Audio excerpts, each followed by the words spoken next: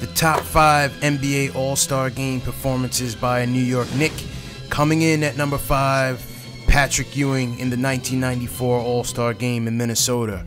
In what was one of his best statistical years as a Knick, the captain dropped 20 points and 11 rebounds in the game, leading the East to a 127 to 118 victory over the West. When you came into the league, Mark Price with his version, and it's a thunderous effort by Patrick Ewing over David Robinson.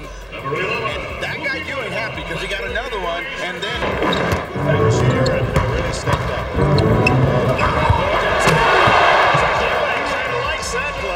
And now we're bringing the crowd into it too. Coming in at number four, the original captain, Willis Reed. In the 1970 All Star game in Philadelphia, Reed dominated in the first quarter, giving the East a uh, command of the game. 19 Willis Reed. Taken by Oscar Robertson. John Havlicek, a lead pass to Reed. And the East leads 4 to 2. West quickly to Baylor. And Willis Reed. Frazier saves it under to his teammate Reed. Hayes defensively. Havlicek, Willis Reed guarded by Baylor.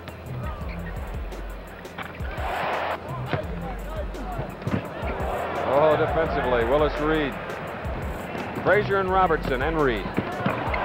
Gives you an idea of Reed's speed. He defended uh, on the opposite board and came right down in the Willis play. would go on to drop 20 points and 11 rebounds, giving the East a 142 to 135 victory over And the West and earning the captain of the game's MVP honors. Boy, is he happy. We're just hoping we can win the Eastern Division and go into the playoffs, and maybe this year uh, the championship will come to New York for once.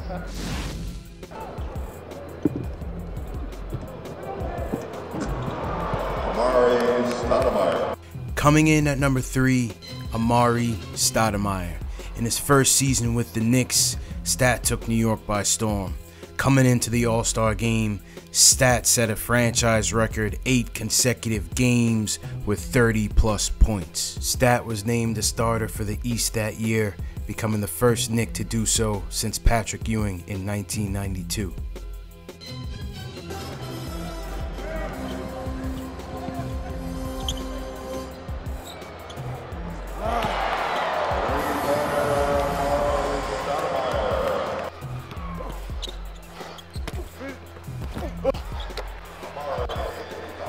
Now the East would go on to lose to the West that year by the score of 148 to 143, but Stat would chip in with a team high 29 points to go along with 6 rebounds. What's happening tonight? Oh, the game? It's only one prediction. East gonna, East gonna win. At number 2, Carmelo Anthony predicted victory for the East in the 2014 All-Star game in New Orleans, and he would put on a show to prove it. Do that plenty of times, little Stevie, on the, the mean streets of Palisades. All the time. Anthony, give that look. Rivers told him he needed to work on during the summer. Carmelo Anthony with his fifth three-pointer. Kept alive. Here's Anthony for three, and that is an NBA All-Star record seven by Irving. Anthony for three. Yes! His eighth three-pointer of the night. Eight of 12 from downtown for Carmelo Anthony. Melo would go on to set an All Star game record of eight three pointers in the game, finishing with 30 points and 5 rebounds, leading the East to a comeback victory 163 to 155. Although Melo had a standout game, Kyrie Irving went home with the MVP, dropping 31 points and 14 dimes for the East.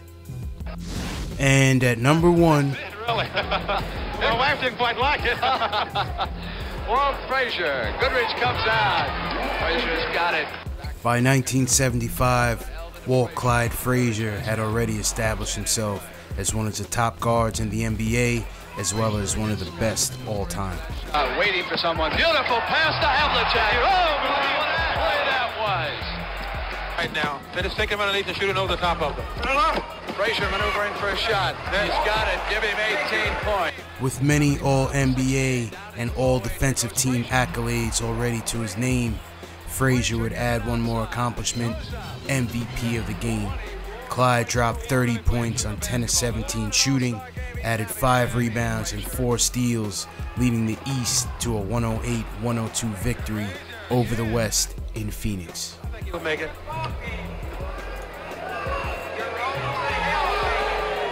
Twenty-nine points for Clyde.